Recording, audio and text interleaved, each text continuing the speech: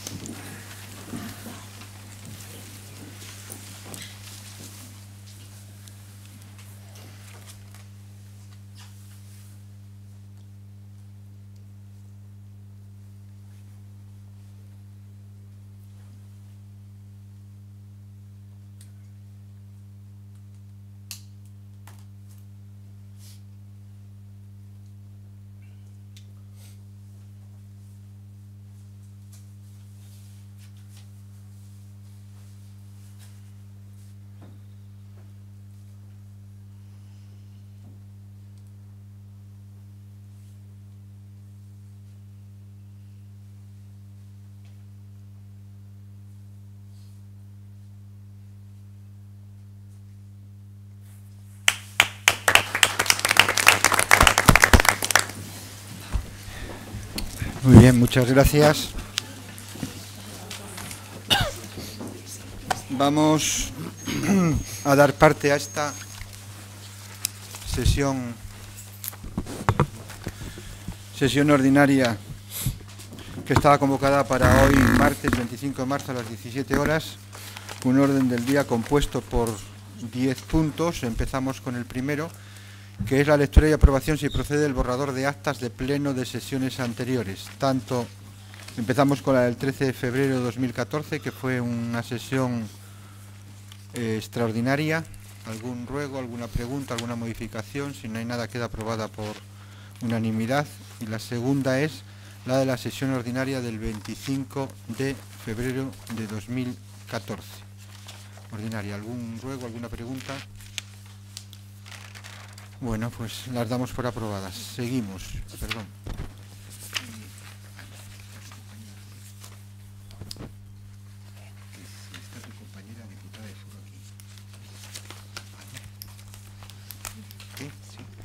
Bueno, eh, saludo a la diputada de Foro que nos acompaña por segunda vez. Muchas gracias por su asistencia. Damos Seguimos, segundo punto del orden del día es la dación de cuenta de 22 resoluciones de alcaldía, el punto número 3 es la dación de cuenta de 92 resoluciones del concejal de Hacienda, Urbanismo y Servicios Generales, el punto número 4 es la dación de cuenta de 38 resoluciones de la concejala de Cultura, Deportes y Acción Social, el punto número 5 es la dación de cuenta de 65 resoluciones del concejal de Seguridad. Y el punto número 6 es la dación de acuerdo de cuenta de los acuerdos adoptados en las juntas de gobierno ordinarias del 20 y 27 de febrero del 6 y el 13 de marzo. El punto número 7 es una ratificación, que es una ratificación de una resolución del alcalde, de alcaldía, perdón, relativa al inicio de trámites establecidos en el reglamento 3 95 de 7 de junio referido a los jueces de paz para cubrir vacante de juez de paz sustituto de Corbera. Saben que Recientemente, a lo largo del año pasado, iniciamos el proceso para sustituir a, una vacante que había de juez de paz sustituto. Se presentaron dos personas mm, y hubo un sorteo, elegimos a la primera, renunció, elegimos a la segunda, renunció. No hubo, es decir, renunciaron las dos, no tenemos más lista de espera y tenemos que volver a iniciar el procedimiento para cubrir esta vacante de juez de paz sustituto no hay ninguna cosa lo dejamos así y tiramos para adelante. Punto número 8, moción del Grupo Municipal de Izquierda Unida sobre el apoyo para que los pensionistas y jubilados recuperen el, IPC. Enrique, cuando quiera. Sí, bueno, eh, un poco hay que, que explicar la moción. La moción en sí misma eh, ya deja claro la cuestión que hay, vamos, eh, la pérdida de poder adquisitivo de los, jubilados y pensionistas. En el marco de la política de recortes emprendida por el gobierno del Estado. Y por lo tanto simplemente, bueno, eh, se está haciendo una campaña en la línea de, de, poder recuperar ese, el, poder adquisitivo. Y en esa línea pues quiero ya planteo esta moción y bueno, esperamos un poco por el apoyo de, los grupos municipales en la línea de, reforzar esa petición que iría dirigida eh, que, pide instar al Gobierno de la Nación a que ponga las medidas necesarias para que los pensionistas y jubilados recuperen el IPC que por justicia les corresponde, exigir que se mantenga el espíritu del consenso de Pacto de Toledo, pues las medidas del Gobierno perjudican a las personas más débiles y no se les toma ni una sola como control del fraude fiscal, no se toma ni una sola medida como control del fraude fiscal, la economía sumergida, los paraísos fiscales, etcétera, pudiendo recaudar en torno a 70.000 millones de euros más, pues hay culpables de que esta crisis tan brutal que tenemos en estos momentos y que no son precisamente los pensionistas y jubilados. Y luego el tercer punto era dar un traslado de este acuerdo al presidente de la Nación, a los grupos parlamentarios del Congreso de Diputados y Senado, al Ministerio de Empleo y Seguridad Social y las asociaciones de pensionistas y jubilados del municipio. Esa es un poco las líneas maestras, la, la moción. Muy bien, gracias Enrique. Si les parece, iniciamos primer turno de intervenciones. Eh, Luis Solares, Partido Popular. Sí, bueno, dicen ustedes que hay que instar al Gobierno eh, de la Nación a que ponga las medidas necesarias para los pensionistas y jubilados, para que recuperen el, IPC. Y yo pregunto, ¿y los trabajadores quién se ocupa de ellos? Que perdieron más poder adquisitivo que los pensionistas. Me gustaría que algún día ustedes gobernasen, ¿eh?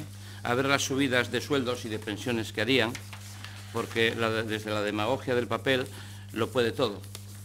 El problema es que ustedes no van a gobernar nunca, por mucho que se empeñen, a no ser que ganen la revolución en la calle, que es en lo que están. Muchas gracias. Por todo esto, nosotros vamos a votar en contra. Muy bien. María Teresa Domínguez. Sí, buenas tardes. Bueno, pues volvemos otra vez. Creo que no voy a ser reiterativa, que saben cuál es mi opinión respecto a este tipo de mociones que, como siempre decimos, exceden de lo que es el ámbito de influencia de nuestro, de nuestro potestad, digamos, municipal, pues cómo no vamos a estar a favor, cómo vamos a estar a favor de ningún tipo de recorte, señor Bueno, ni como decía el Partido Popular, ni recortes a los pensionistas, ni recortes a los trabajadores, ningún tipo de recorte social, porque si algo se ha caracterizado a mi partido siempre ha sido por la defensa y estar en contra de los recortes sociales. Mirando las, las mociones que hemos debatido desde el año 2011, he encontrado varias y precisamente la primera vez que presentó su grupo una moción de este tipo fue el 27 de septiembre del año 2011. Moción del Grupo de Izquierda Unida contra la congelación de las pensiones por la recuperación del poder adquisitivo, etcétera. Sabe cuál es mi postura en estos, en estos temas y me gustaría saber porque así intenté con una moción que no se me permitió debatir en este pleno, y era el seguimiento de este tipo de mociones. Es decir, ustedes han presentado desde el año 2011 varias, varias mociones en este mismo sentido. Yo me gustaría saber cuál es el seguimiento que se hace de estas mociones que fueron aprobadas en este pleno, porque en estos momentos usted no es miembro del Gobierno, pero en el 2011, en el 2012 sí, y por lo tanto su, ámbito competencial pues era o sería mayor. Por eso me gustaría saber qué se hizo, porque en aquel momento creo recordar que tuvieron el respaldo, creo, de la gran mayoría de este, de este, de este hemiciclo. Pensamos que son un poco, digamos, demagogia lo que se está planteando este tipo de mociones. No podemos votar en contra, señor Bueno, pero tampoco vamos a apoyarles en este caso. Simplemente los vamos a abstener en la línea que estamos manteniendo en este tipo de mociones, nada más. Muy bien, muchas gracias, María Teresa. Eh, Belén, cuando quiere. Ah, bueno, sí. Sí, sí, que los pone. Eh, nosotros no deseamos intervenir, puesto que no tiene ninguna trascendencia el voto que los concejales de Corbera podamos manifestar en este pleno respecto a este tipo de mociones. Muy bien, muchas gracias. Eh, nosotros vamos a votar a favor. Para cerrar.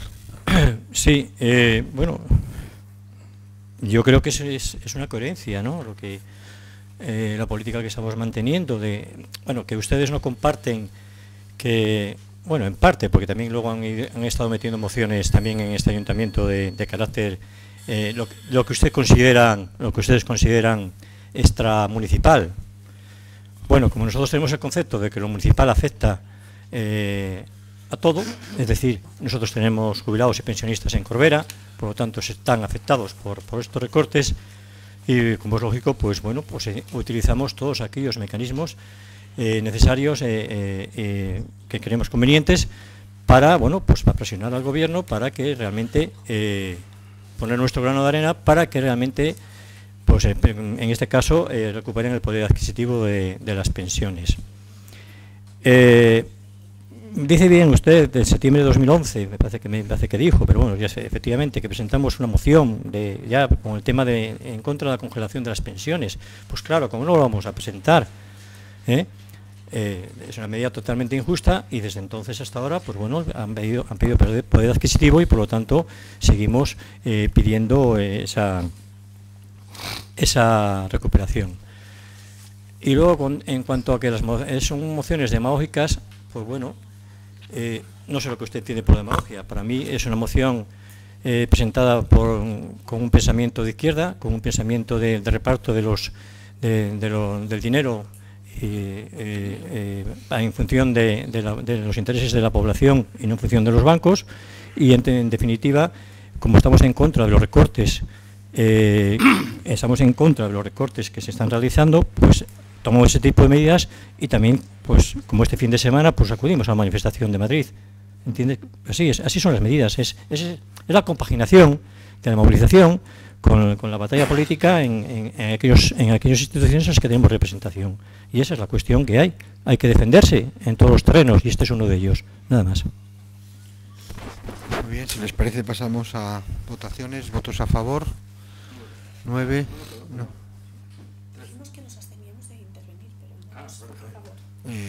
13. 13, 13, ¿no? Eh, abstenciones 3. Votos en contra 1. Eh, vamos al punto noveno, es una moción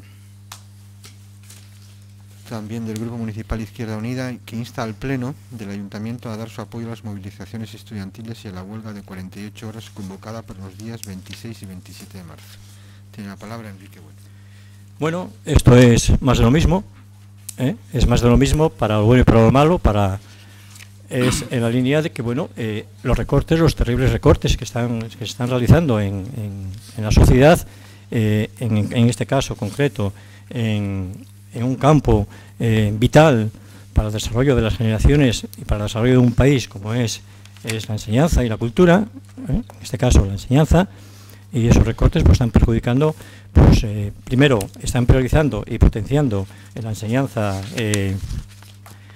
en la enseñanza privada y concertada en detrimento de la enseñanza pública. Y por otro lado los recortes tanto en plantilla como fundamentalmente en plantilla como recursos. Por lo tanto nosotros ese, escrito que nos, se nos ha enviado, pues consideramos que es justo trasladarlo y lo trasladamos, no es nuestro, ¿eh? el escrito, ya decimos claramente en el escrito que no es nuestro, es, una petición que, hace, que ha dirigido el sindicato de estudiantes a los ayuntamientos y nosotros lo trasladamos sin más, como otras veces hemos trasladado escritos de, pensionistas y demás, pero que además es que estamos totalmente de acuerdo con ellos, claro.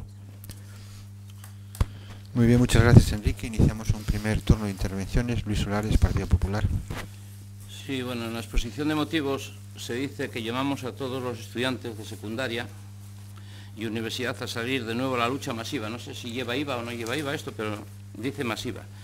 A la huelga más contundente, a llenar las calles. Solo les falta poner eh, y a la revolución bolchevique, que lo piensan, pero no lo ponen, o sea, pensar si lo piensan.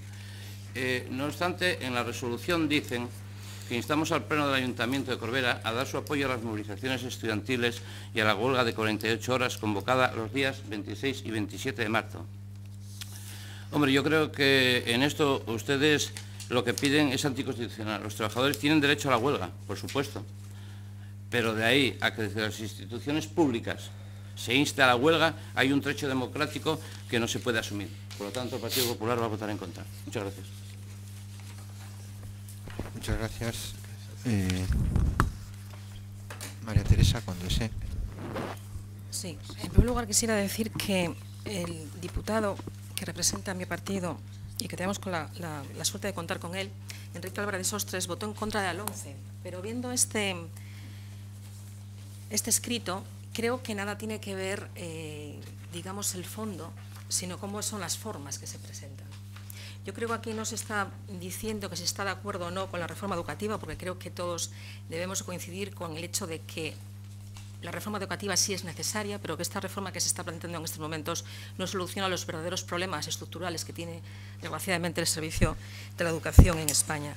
Pero coincido plenamente con, las palabras que acaban de, de decir el portavoz del Partido Popular, al leer esto, el llamamiento a la lucha masiva, a las huelgas más contundentes, y viendo las, los hechos que están saliendo en los últimos días, me parece, señor Bueno, que nos estamos moviendo ya en un terreno un poco peligroso. No quedaría mm, de más el decir que la movilización ciudadana, los movimientos vecinales, el derecho a reclamar una mayor participación o el derecho a reclamar un cambio en la actitud de los políticos, esto está muy bien y es muy correcto, pero siempre desde una perspectiva pacífica, que es cómo se tienen que hacer las cosas y el respeto a las reglas de juego, que es la base de nuestro sistema, nuestro sistema de derecho. Ayer, mirando en la prensa, eh, casi por casualidad, encontré un manifiesto de estudiantes, Sal Libertad Digital, del Sindicato de, de Estudiantes, y veo que es una huelga que no parece despertar la misma, el mismo consenso que las que ha habido hasta este momento, porque en, esto, en, este, en este artículo, que si quiere se lo paso, dice esta huelga tampoco contará con otros colectivos como Comisiones Obreras, UGT o STESI, ya que según afirman algunos de la Complutense, la Secretaría General de la Organización ha criticado la actitud de estas organizaciones por no secundar algunas de sus propuestas. Los profesores incluso dicen que irán a clase, con lo cual veo que no se está digamos, llegando a ese grado de participación que posiblemente se esté, se esté reclamando. Desde luego, desde parte de Foro nunca vamos a secundar un manifiesto en el que se nos llame a tomar las calles a una lucha, a una lucha vamos, lo que, lo que se dice, una lucha masiva. Creo que no son los medios más idóneos, señor Bueno. En este caso, nosotros nos vamos a abstener. Muy bien, muchas gracias. Eh, Ana Belén, cuando dice... Sí, no, no deseamos intervenir. Gracias. Eh, portavoz socialista, Nosotros vamos a votar a favor. Enrique. Sí. Contundente, masiva. Pero qué, qué, qué asusta, pero qué, qué cosas os, os asustan. Yo es que es que es que oye uno cada cosa que digas que una huelga debe ser contundente o que una respuesta debe ser contundente y masiva, ¿qué quiere decir contundente y masiva? Es decir, repito, este fin de semana estuvimos varios, dos concejales de Izquierda Unida aquí presentes y más. Bueno, estuvimos en la manifestación de Madrid. Miles y miles y miles y miles de personas manifestándose pacíficamente. Al final de la manifestación, pues bueno, como siempre pasa, que nunca se sabe cómo es ni qué de manera, ¿eh? ni quiénes son, ¿eh? al final siempre pasa lo mismo, ¿eh? pues vienen los, los, que, los que destrozan, por decirlo de alguna manera, el trabajo que se ha realizado en la base y en los sitios. ¿Eh? Antes de ir a esa manifestación, aquí habíamos hecho un trabajo ya en una pequeña manifestación por la calle el sábado pasado. ¿eh? Un pequeño grupo, pues bueno, pues en la línea de, seguir diciendo que hay esos problemas ahí. Entonces, eh, dicen, el problema se convierte entre la muerte de Suárez y, y los, y, los, y, las, y las, las, leches que se llevaron allí, bueno, los enfrentamientos que hubo con la policía, que fueron muy violentos, porque las, las, imágenes lo, ponen ahí, pero bueno, ni más ni menos que lo que los policías atizan a los, a los tal, a- y a, los, a, los, a los manifestantes muchas veces y que esta vez por la brutalidad también fue por otra parte también que, que, bueno que fueron imágenes realmente crudas y violentas que no tienen ningún sentido con no tenía nada que ver absolutamente nada con la movilización pero la noticia en España no fuera de España la noticia es se centró en, lo, que se llaman contundente, en lo que, llaman, eh, en fin, la violencia. Y se olvidan de que allí había, pues no sé, claro, no sé, hay unos hablan de un millón de personas, otros hablan de no sé cuánto, en fin, depende, depende de cómo son. Pero bueno, los que estuvimos ahí sabemos lo que hubo. Entonces, eh, esto, pues es lo mismo, es una forma de expresión de, toma, de, tomar las calles, pues qué decir, bueno, pues tomar las calles, es, yo, está claro que si, si, yo tengo que ir a una manifestación de esas, como voy habitualmente, pues iré de manera pacífica, pues como se va así. Como vamos la inmensa mayoría de la gente, prácticamente la totalidad. Entonces, ¿qué nos quedamos? ¿Con lo que quieren que nos quedemos o con la cuestión que estamos planteando? Hay recortes serios y profundos en el mundo de la enseñanza que están perjudicando ¿eh? que están perjudicando fundamentalmente a las clases populares y a los hijos, por supuesto, de, los, de, los, sectores de, de, la clase obrera en general y de, las, bueno, y de la clase media, del conjunto de la sociedad que va por la pública, vamos. que acude a la pública.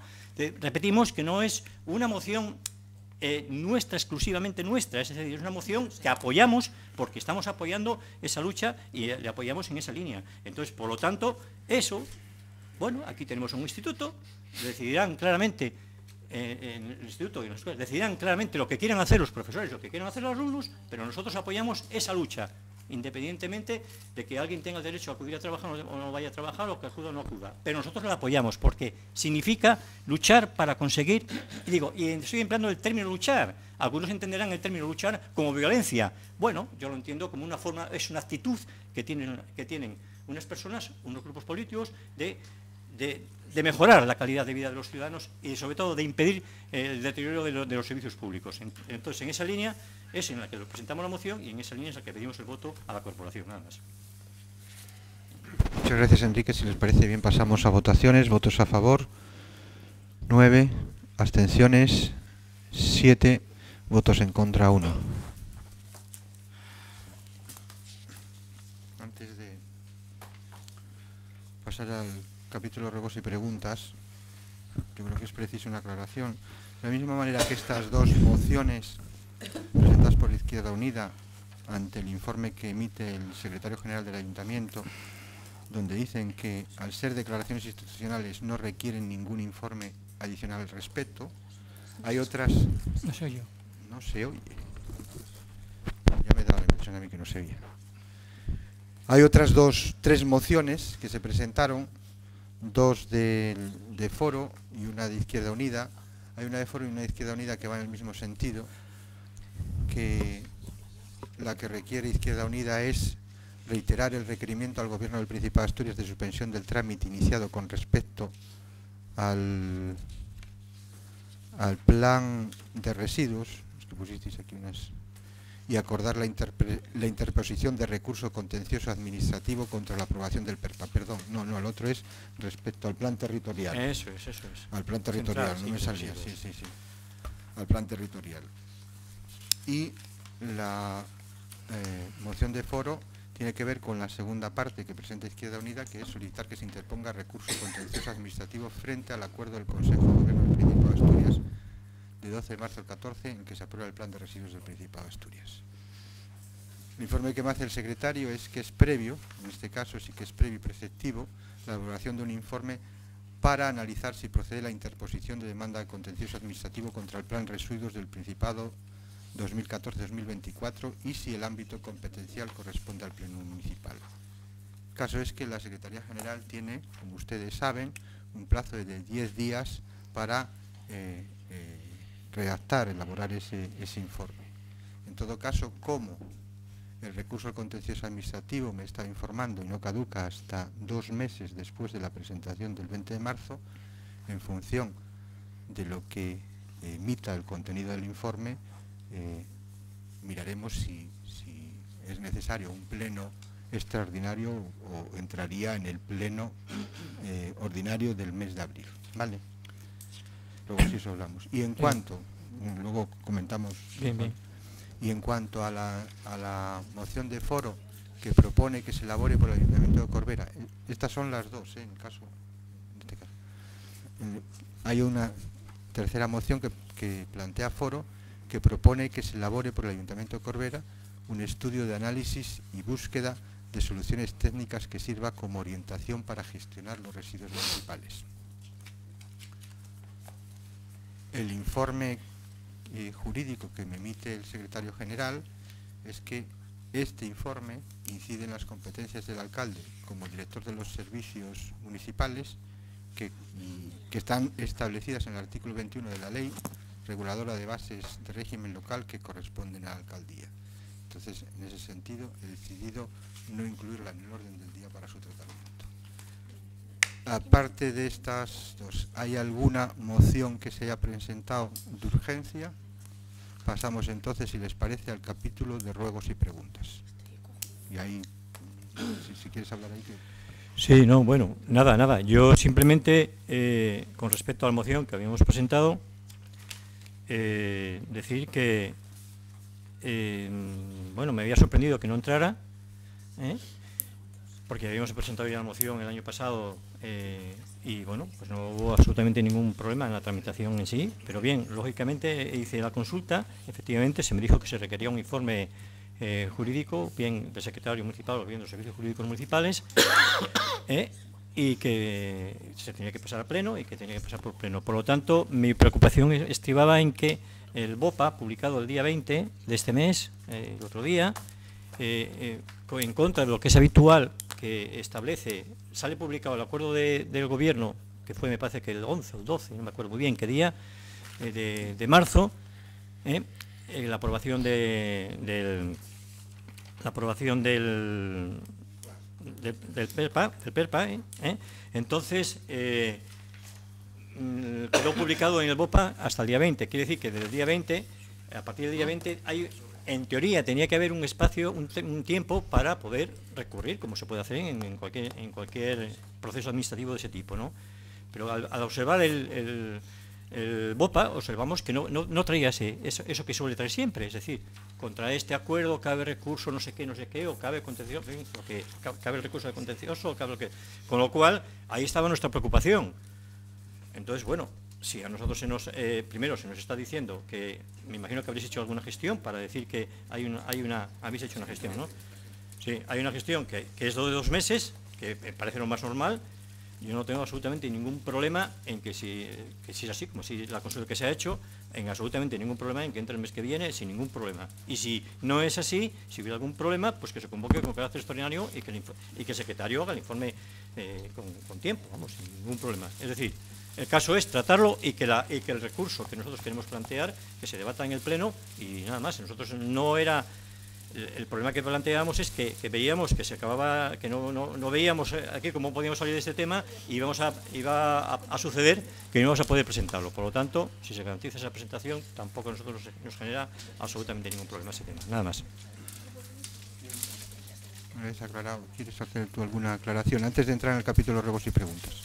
Sí, yo simplemente quisiera decir que eh, me vuelve a sorprender el hecho de que son mociones, en este caso que fueron presentadas el día 21, eh, bueno, con un tiempo yo creo que bastante, perdón, el día 19 de marzo, con antelación suficiente y que, bueno, los concejales que venimos aquí tengamos que esperar el mismo momento del pleno, que sé que se puede hacer, porque lógicamente así se está haciendo, pero no me parece que es la manera más transparente, porque los concejales vienen con las mociones dispuestos a debatirlas, a poder exponer las razones, y nos encontramos con que no es así.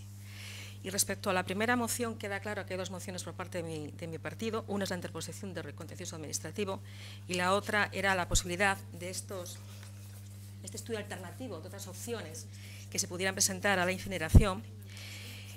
Decir que me sorprende, sinceramente, señor alcalde, porque esto no es una acción de Foro Corbera, es una acción conjunta de Foro a nivel, a nivel de todos los municipios en los que tenemos representación y hay municipios en los que se ha debatido esa, esa moción sin ningún tipo de problema, en el caso de nuestro municipio más cercano y vecino, que es Avilés, y aquí no, debe ser que la legalidad es diferente para un municipio para otro, o que el artículo 22 que dice en un mismo, y repito, un mismo eh, fragmento del informe del secretario que me pasó hace, cuando en esta nueva moda de, de no poder debatir, el artículo 22 de la ley 7 85 dice que unas funciones del Pleno es el control y fiscalización de los órganos de gobierno. Yo me pregunto de qué forma podemos eh, bueno, controlar y fiscalizar la actividad del Gobierno cuando en este momento tenemos que pasar un riguroso filtro para poder debatir y para poder ejercer nuestro derecho de participar en la vida política de este municipio, porque no nos olvidemos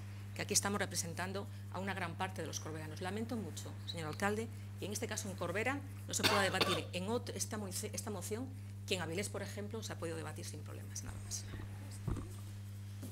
Eh, lo de Avilés.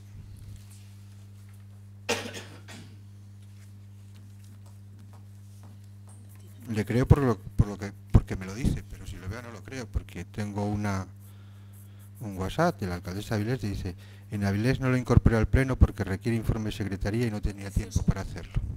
El contencioso, no, la- no el estudio alternativo. Vale. En cuanto a lo otro, mm, yo creo que, eh, como iniciaba las, las mociones, eh, perdón, cuando, cuando habla del contencioso y de las mociones que presenta, yo creo que si somos un poco lógicos y racionales. Sabemos que los asuntos que se han tratado hoy en el Pleno han sido dictaminados al menos el último martes, hoy hace siete días.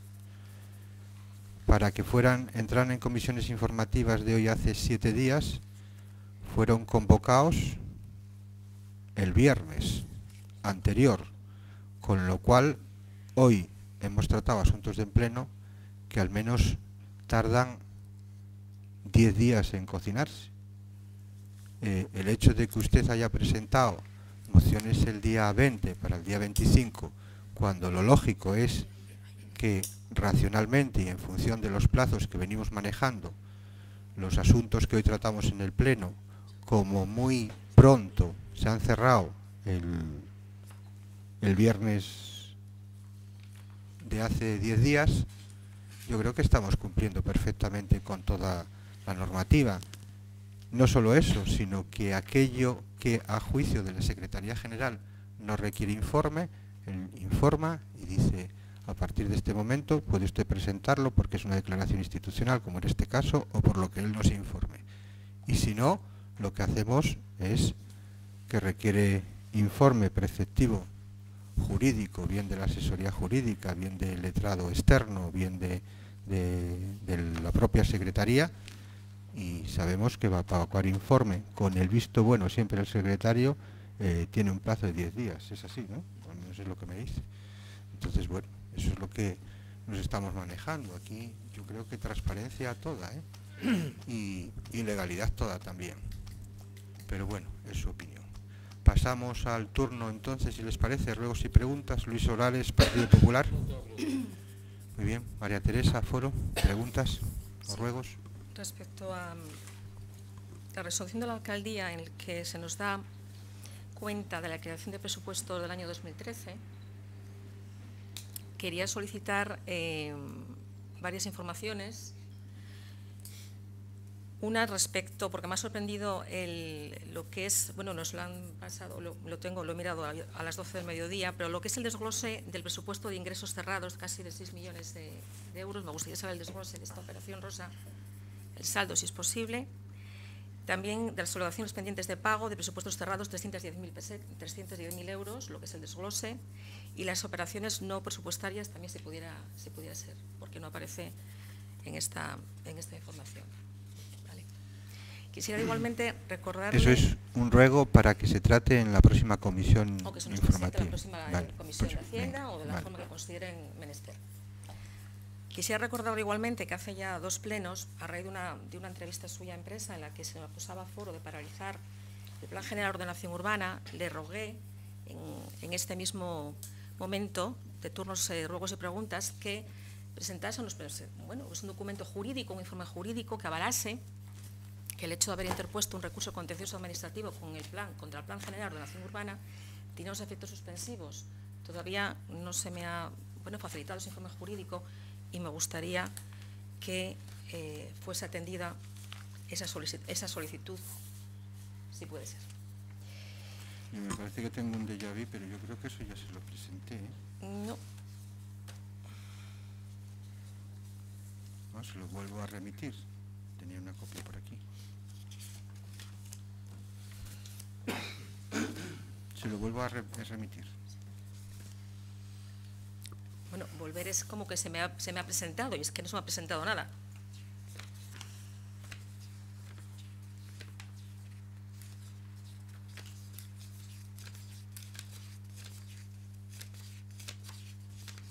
Vale. Quería igualmente... tengo aquí la,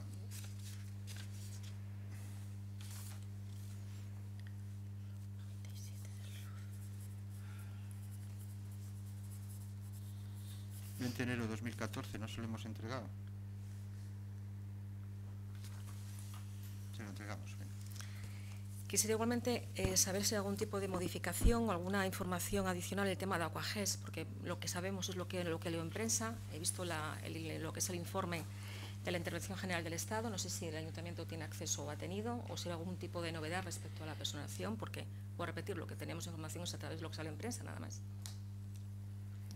Eh, al concejal de Servicios Generales, pero yo creo que todavía nos han permitido personarnos. Por lo menos la semana pasada, no sé si hubo noticias recientes. Es la, la tercera, la, la cuarta vez que ya respondo a esta pregunta. Cuando llegue algo al ayuntamiento, se informará en comisión informativa de Hacienda. Si no se ha informado es que al ayuntamiento no ha llegado nada. Lo que salió en prensa y pudo leer la concejala de foro es lo que leímos los demás, pero al ayuntamiento no hay nada. Y cuando llegue algo, y vuelvo a repetir, creo que por cuarta o quinta vez ya, lo informaremos en comisión informativa para el conocimiento de, de todos. Gracias, Iván. María Teresa. Sí, me gustaría saber que efectivamente, si desde que se ha solicitado la personación, bueno, pues nuestros abogados eh, se interesan en saber qué es lo que está sucediendo para que se dilate tanto el proceso de respuesta de esa personación, porque me parece que ya es tiempo más que suficiente. Entonces, ya sé que lógicamente no estamos personados, si no se hubiese convocado, me imagino, a los portavoces, pero por lo menos saber si bueno, se está intentando interesarse de cuál es el motivo de, ese- de esa dilación, porque me parece que ya llevamos un tiempo más que prudencial desde que se solicitó esa personación. Le va a contestar el concejal. Sí, los abogados del ayuntamiento y los procuradores del ayuntamiento les preguntamos semana sí y semana también. Y esto no es una cuestión del, del gobierno. Tiene usted eh, enfrente a, a dos imputados que si tienen algún problema sí que están personados y, y nos pueden contar a usted y a los demás que también estamos interesados en, en saberlo, porque aquí parece que es una cuestión del gobierno o del Partido Socialista. O sea, cuando llegue algo eh, se entregará todas las semanas un, administrativo, un trabajador municipal del área de servicios jurídicos, tiene encomendado llamar al procurador y a los abogados, porque a nosotros también nos parece que tarda, pero bueno, hay dos aquí imputados que lo pueden decir también. Si, si hay alguna novedad o si hay algo que le puede interesar a esta corporación, que al Partido Socialista también le puede interesar eso. Nada más. Enrique. Sí, yo una cuestión sola es una pregunta, es decir, cuando si se ha empezado ya y si no se ha empezado, cuando se quiere empezar a la rehabilitación de las viviendas eh, municipales que tenemos, eh, que bueno, de, la- de las que hemos estado hablando ya eh, bastantes veces, eh, para poner a disposición de la población, es decir, eh, mm, tanto la de las de Cancienes como las de bueno, las de las escuelas municipales que están que pasaron de las zonas rurales, que pasaron también al al ayuntamiento y así como la de la de Fabilas, es decir, la necesidad es imperiosa con respecto a la necesidad que tiene la gente de, de bueno, de poner esas, esas viviendas a disposición bueno, para, para, para bien o bien por el sistema de alquiler o bien por el sistema mm, temporal de cesión, ¿eh? en la línea de, de- de ir cubriendo problemas que tenemos con, con gente que está teniendo problemas que, no son ajenos a lo que está pasando en el resto del país y que aquí están sucediendo también. Es decir, se trata de, de optimizar los recursos y de, y de ponerlo en marcha. ¿eh? No basta solamente con decir lo buenos que somos en protección social, ¿eh? si luego pues nos olvidamos de aquellas cosas en las que mm, tenemos que demostrarlo, ¿no? Y esto es una de las cuestiones que hay que priorizar, a nuestro modo de ver, y que hay que poner en marcha ya. Curiosamente, ha empezado las obras, vio algo que rechaza el- el conjunto de esta corporación, excepto el equipo de gobierno, eh, ahora mismo ahí con, una pista que, que bueno, que bien, ahí está. eh, Tienen su derecho legítimo a hacerlo y punto. No, lo que hemos tenido que, lo que hemos dicho ya lo hemos dicho, pero lógicamente hay muchas más prioridades y entre ellas esa que estaba diciendo que es eh, prioridad nivel, pues si podemos clasificarlo, nivel preferente. ¿eh?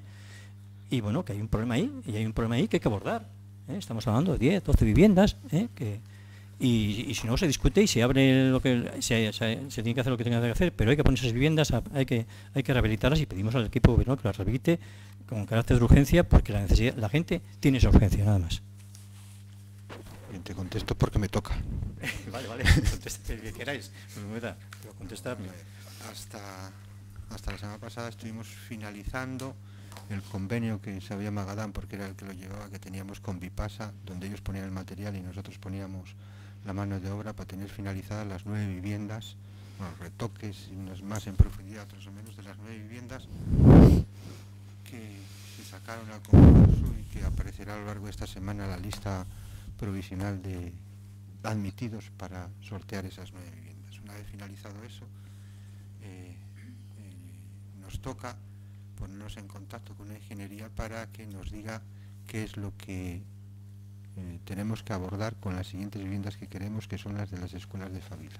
Que nos haga un pequeño proyecto de dónde están las acometidas, cómo están las estructuras, bueno, se lo conoce Magadán perfectamente, las estructuras para poner las posibles paredes en Favila, hacer ese, ese pequeño proyecto. Y esa será la siguiente que abordemos con el mismo equipo que estuvo hasta ahora eh, finalizando, están a punto de finalizar las nueve viviendas que hemos rehabilitado de, de Vipasa. La siguiente va a ser las dos de Favila con esa historia.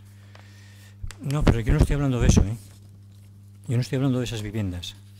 Yo estoy hablando, bueno, est- estás hablando de las viviendas de Cancienes, estás hablando de todas, de todas las demás. Ah, perdón, entonces, de acuerdo, de acuerdo.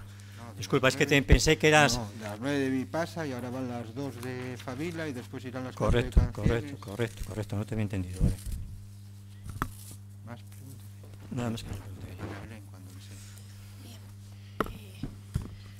Nosotros teníamos una serie de preguntas o de ruegos respecto a la nueva moda de las mociones que no se, que no se vienen incluyendo en los plenos. Eh, entonces, el primer ruego es que, como hay ciertas mociones presentadas, por ejemplo, en el caso de hoy había eh, por lo menos dos de Foro y otra de Izquierda Unida que no han sido debatidas eh, a la vista del informe del secretario de los asuntos a incluir dentro del orden del día del Pleno, nos gustaría que en los plenos sucesivos que si hay alguna moción que no se vaya a debatir en el pleno, pues eh, por, a causa de ese informe jurídico, pues que ese informe jurídico se incluya junto, los- junto con los expedientes que tenemos a disposición los concejales, para que los concejales de la oposición, cuando vengamos al pleno y cuando veamos los expedientes, sepamos cuáles son las que no se van a debatir y por qué motivo. ¿Vale? Porque normalmente nos venimos enterando cuando estamos aquí sentados. Vale. vuelvo a repetir. A ver, hubo un pleno donde me solicitaron que estableciéramos un procedimiento. Ese procedimiento lo solicité al secretario y el secretario me dice, en estricto, esto es como se tiene que proceder. Y con este proceder es el que estamos. Tú ahora dices, vale, lo que queréis estar son los grupos que no presentáis las, los grupos que no presentáis las mociones, el informe Sí, para saber cuáles se van a debatir y cuáles no. Vale. Eh, No es una moda. A ver, si solicitáis una cosa, mm, pleno, yo la acepto y la hago, pues luego... mm, bueno, mm, lo calificó así la concejal de foro y a mí me parece bastante acertado, puesto que mociones similares a las que hoy presenta el grupo de foro respecto al plan de residuos, a la incineradora, a Cogesa, podrá comprobar usted en los archivos municipales que hemos debatido cientos en este ayuntamiento, teni- teniendo... eh, bueno, pues, pues en los años que yo llevo siendo concejal, más que decenas, pero eran similares y antes se debatían y ahora no. Por 6 de tanto, febrero de 2014, visto el ruego formulado por la por- del grupo, portavoz del Grupo Municipal Foro de Asturias en la última sesión plenaria, solicito informes sobre los asuntos que deben ser tratados en las comisiones infor- informativas y cuál es el procedimiento a seguir con las menciones presentadas por los distintos grupos políticos. La respuesta la conocemos. me da el secretario es, respecto al procedimiento a seguir en las mociones presentadas por los grupos aquellas que sean de competencia de pleno por su cometido deberían presentarse para ser tratadas a efecto de su dictamen en la correspondiente comisión informativa previos los informes que en su caso correspondan para su posterior inclusión en el orden del día de la sesión plenaria. Señalar que en caso de carecer de informes necesarios o preceptivos incurrirían en nulidad. Eso es lo que nos informa el secretario en ese momento. Bien, bueno, en nuestro grupo no estamos de acuerdo con eso y voy a, vamos, nosotros tenemos, es que ustedes, bueno, usted explicó más o menos eso en palabras y, diciendo que los asuntos que se, habían, que se contenían hoy en el pleno de hoy habían pasado ya por comisión, que la última fue el día 25, que por tanto, como los expedientes están dos días antes a, a- a disposición de los concejales, pues como mínimo estábamos debatiendo asuntos que habían entrado hace 10 días en este ayuntamiento, correctamente. Pero es que eh, nosotros estamos hablando de mociones y las mociones, según el artículo 97.3 del ROF, del Reglamento de Organización y Funcionamiento de la Administración Local, las define como, y lo leo textualmente, moción es la propuesta que se somete directamente a conocimiento del Pleno, al amparo de lo prevenido en el artículo 91.4 de este reglamento de este reglamento y luego dice que podrán formularse por escrito oralmente. Por lo tanto, y en los años que yo sigo siendo concejal, las mociones nunca han entrado en comisión siempre vinieron directamente al Pleno. Por tanto, no entiendo eso de que tengan que ser dictaminadas y que tengan que entrar en comisión. Entonces, mi ruego es un informe jurídico al respecto, que nos explique cómo es que las... Eh, sí, pero nos gustaría saber en qué artículos... Eh, entonces, ¿qué pasa? ¿Que el artículo 97.3 del ROF es erróneo o hay una interpretación que yo no alcanzo a, porque es que define lo que es un ruego, lo que es una pregunta, lo que es una moción, y las mociones dice claramente que van a pleno. Entonces, mm, es que no lo entendemos. secretario. Ya lo explicó el alcalde y lógicamente las mociones suelen ser pronunciamientos de carácter general, eh, de contenido político, que no afectan eh, a, actuaciones municipales. Cuando, por ejemplo, como en este caso, se está pidiendo la interposición de un recurso, hay una serie de informes, como por ejemplo una modificación presupuestaria necesita previo un informe de intervención.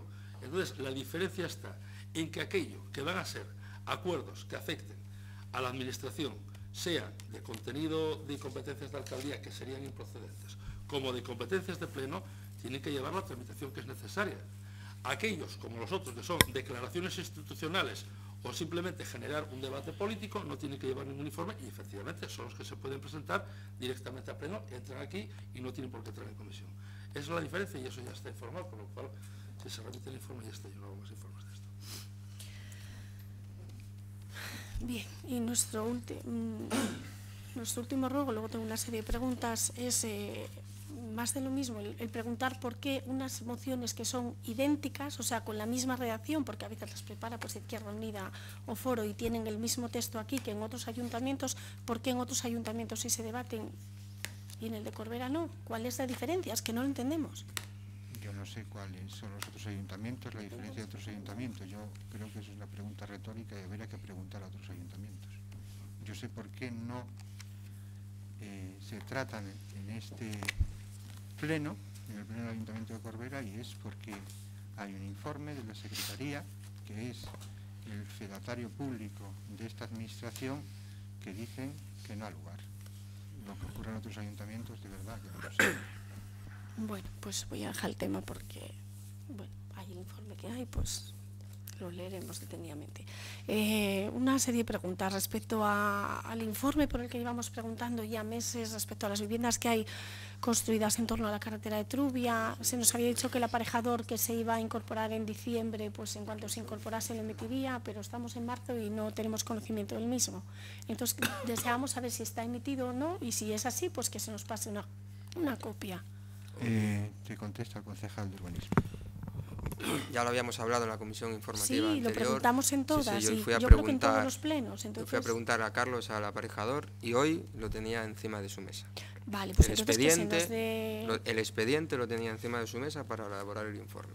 Ah, para elaborar el informe. Estaba con ello. Hoy tenía, porque está, digo, oye, bueno, dio pues la casualidad que entré a preguntarle, porque es lógico, entré a preguntarle y me dijo, estoy precisamente con eso. Pues a ver si en la próxima comisión ya lo tenemos y se nos da cuenta o se nos pasa una copia.